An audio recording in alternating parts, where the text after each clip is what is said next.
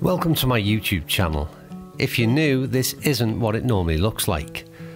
To be a golf YouTuber, you need to have certain attributes, most of which don't come natural to me.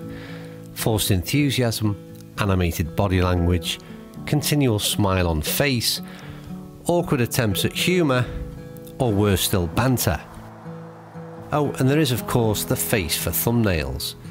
You know, the shocked expression, as if you've never seen a golf club before.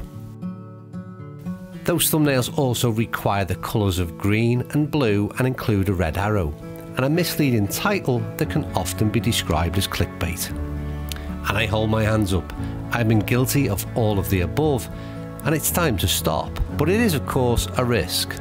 Because as much as viewers might complain about all of the above, they continue to be drawn in by it all. So why change? Well, quite simply, I don't enjoy it anymore and I want to produce content that I can be proud of. In the coming weeks, you may see less volume of content, but hopefully better quality. I plan to travel alone, sleeping in my van, and enjoying solo golf. The return of cinematic on course footage from the good old days of Scotland's Less Obvious will be the main goal, but a new and improved version which will include my scoring and my performance on everywhere I play. The product reviews will continue but be very different than before, and hopefully more useful to golfers. Thumbnails will have a new look, and the use of red arrows will become obsolete. Enthusiasm and laughter will be minimal and only visible in extreme circumstances. Banter will not be allowed on this channel. However, sarcasm will be very prevalent.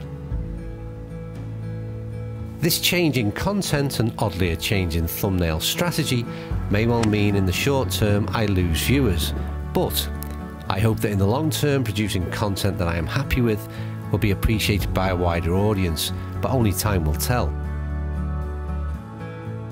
So for now, thanks for all the support over the years. I hope you continue to watch, but understand that if watching a less enthusiastic, miserable, sarcastic, less animated, but more authentic version of myself won't be for everybody. Either way, I can't wait to get started.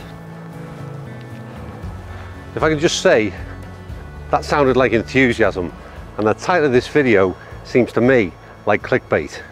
See you next week.